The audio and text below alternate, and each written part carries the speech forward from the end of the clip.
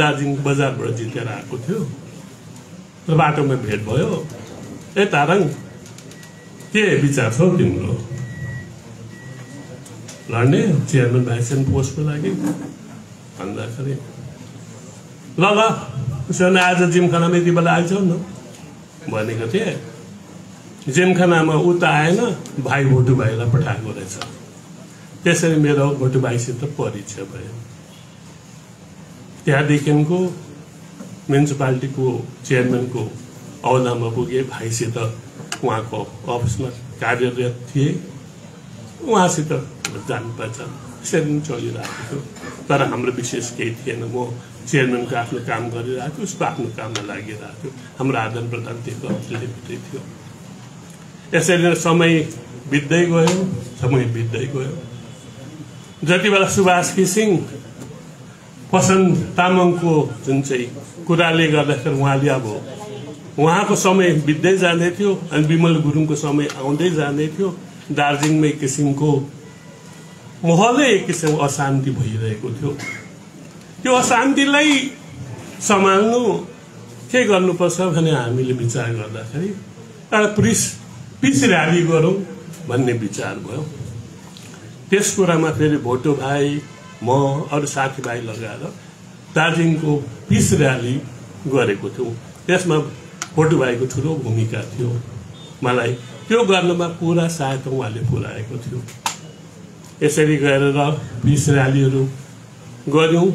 त्यहीबाट सृजना भयो दार्जिलिङमा दार्जिलिङ सिभिल सोसाइटी भन्ने एउटा संस्थालाई हामीले सुरु गऱ्यौँ। जसको मेन व्यक्तिहरू मध्येमा आज उद्यान भाइ छन् यहाँ। भोटो भाइ छन् यिनीहरू थिए। इभन पासाङ भाइ पनि हामीसित हुनुहुन्थ्यो।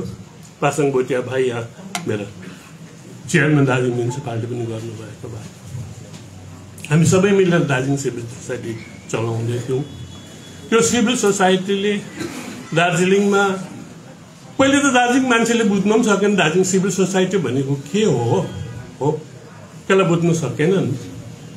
तर अब हामीले बुझाउने चेष्टा गऱ्यौँ तर आफ्नो प्रकारले आफ्नो कामहरूको भूमिका निभाउँदै गयौँ।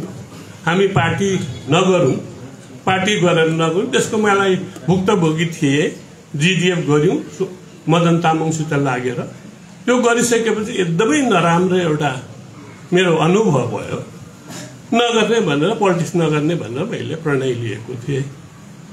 र पोलिटिक्स गर्न छाडेर बरु समाजमा केही गर्नुपर्छ। गर्नु त नि चुप लागेर बसेर त भएन नि दार्जिलिङको समस्यालाई देखेर। र सिभिल सोसाइटी हामीले यसो सुरु गरेको थियौँ। यस्तै कुरामा हुँदै जाँदा मदन तामाङको हत्या भयो। त्यो हत्याले फेरि हामीलाई एउटा शान्ति जागृत गराएर के गरौँ त्यसको लागि पनि मदन तामाङसित मेरो जिडिएफसित भइसकेपछि उसको र मेरो निकै लामो बिचमा त्यति साह्रो राम्रो सम्बन्ध थिएन। मदन तामाङ तपाईँहरूले कति जान्नुहुन्थ्यो मैले जान्ने कुरा पनि अर्कै थियो। अघि? सँगैको साथी थियो। र पनि हाम्रो कुरा मिल्दैन थियो र टाढा हुन्थ्यौँ। तर त्यति बेला उहाँको हत्या भयो। हामी चुबेलाएर बस्न सकेनौँ। यस्तो हुनु हुँदैन भनेर भोटु भाइ म उद्यान भाइ सबै मिलेर त्यो विषय लिएर कामहरू गर्न थाल्यौँ। क्यान्डल जुलुस गऱ्यौँ। दार्जिलिङमा धेरै दिनसम्म त्यो विषय लिएर नारा लगायौँ बस्यौँ। जनतालाई जागरुक गराउने चेष्टा गरिबस्यौँ। त्यस भूमिकामा पनि भू- म- मै- म- मेरो भन्दा बेसी भोटु भाइहरूको भूमिका निकै बेसी थियो। यसै गरेर हामी दार्जिलिङ सिभिल सोसाइटीले चलाउँदै गर्दै गयौँ। अन्ना हजारेको एउटा जति बेला दा- इन्डियाभरि त्यो एन्टी करप्सन विषय लिएर सबै कुरा हुँदै जाँदा हामीले पनि फेरि दार्जिलिङ सिभिल सोसाइटीले दार्जिलिङमा पनि यहाँ नेताहरूको धेरै यस्तो फरक करप्सन्सहरू छ मनपरी गर्छन्। त्यो विषय पनि आवाज उठाउँ भनेर हामी निकालेर जाँदाखेरि चौरास्तादेखिको सुरु हुनेवाला थियो त्यो र्याली त्यो चौरास्तामा र्याली गर्नु पनि दिएन। विमल भाइको दुई चारजना मान्छे केटाहरू पठाएर हामीलाई गर्नु दिएनन्। मसित साथ भएको सबैजना साथीभाइहरू त्यसै हेर्दा भेला भइसकेको साथीहरू सबै कहाँ हराइसकेछन्? भोटु भाइ किरण भाइ मलाई साथ दिएर बस्ने त उहाँहरू मात्रै रहेथे भोटु भाइको यस्तो थिए जसले साथ छोडेनन् सबै कुरा। आजसम्म पनि सिभिल सोसाइटी यहाँ नाम लिदियो। जति बेलादेखि कोभिड सुरु भयो म दार्जिलिङ छोडेर सिलिगुको निवासी भएँ। र कोभिड म सँगसँगै सिभिल सोसाइटी म सँगसँगै बन्द भइरहेछ सिल दार्जिलिङबाट सिलगढी सरेको जस्तो भइरहेछ अहिले। अहिले कोही पनि छैनन्। म के तर्खर गर्दैछु केही गरौँ भनेर। अब चुप लगाएर बस्न सकेको छुइनँ। मेरो अलिकति स्वस्थ त्यति साह्रो साह्रो राम्रो छैन र मैले विशेष भूमिका लिनु सकेको छु र पनि अहिले विचार गर्दैछु के गरौँ भनेर। मैले भोटो भाइ विषय लिएर भन्नुपर्ने यही थियो कि उहाँ एउटा कर्मठ सहयोगी।